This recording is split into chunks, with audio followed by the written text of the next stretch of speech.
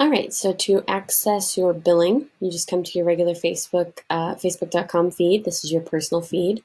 You're going to come up here to the upper right-hand corner, this little tiny arrow drop down. Click on that.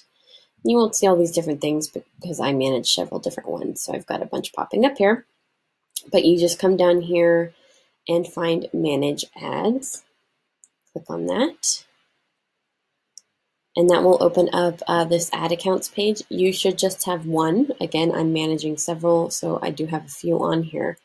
Um, so you need to click on the account you're going into, and it might bring this up automatically since you only have one. And then you're going to go to Business Tools, Billing, and then once we are in here, you're going to go up to the upper right hand corner where it says Payment Settings. Click on Payment Settings, and that pulls up your payment settings for your ad account.